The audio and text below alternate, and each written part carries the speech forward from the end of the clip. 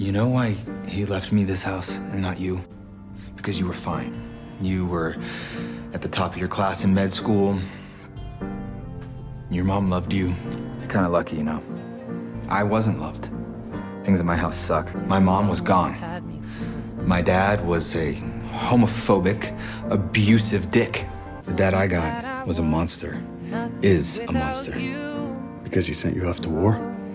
My father was my war. My dad found out I was gay. You're blinded by your perversions. He thought he could beat it out of me. No one taught me to love myself, actually. It's just the opposite. Do I embarrass you, Dad? I still have my dad's voice in my head. Wait, does she know about us? Would it be so bad if she did? Yeah. Telling me that being seen with a man in public is an embarrassment. Seems to me the only one you're embarrassing is yourself. It's my name and my uniform. Your greatest fear has been actualized. Again? Nah, don't worry about it. Your father's hatred is stronger than your capacity to love. My dad hated me. You gotta break free of him, man. Do you feel free? I, uh, don't think I get to be free until you are. Alex Manes' father got us together, and he just snapped. This ends now.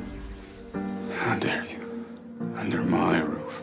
Dad, this has nothing to do with you. I just thought that I could be happy and not be afraid that if I loved anything, my dad would destroy it. That's why you joined Deep Sky, isn't it? To fill the void that your father made in you? I didn't ask for this legacy. Despite you, you slapping him around, shoving that Manes man crap down his throat.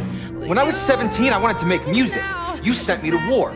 He still loves. And I don't care how much I disgust you, I am still your son. What's your end game here?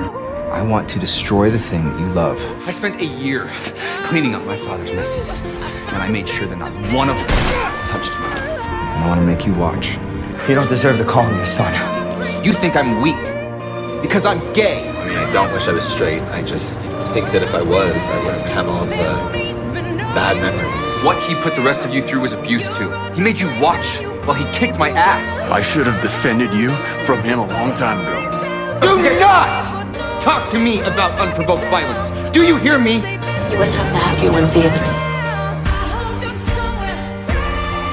Stop listening to that voice in your head and start listening to your own. Alright, tried to be polite. Gaze into the abyss until the abyss gazes back. You sang to me in the crowd, cowboy boy. Just sang a song about a guy in front of a bunch of cowboys. I don't care. I want to be done with this freaking closet. Alex texted me to meet him in an hour. I am not going to forget our very first real in public date. For our first actual date. Feels different now between us. Yeah.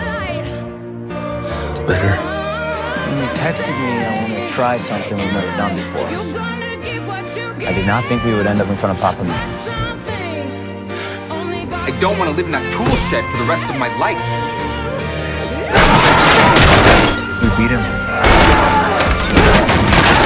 You're the flaw, Dad. I know.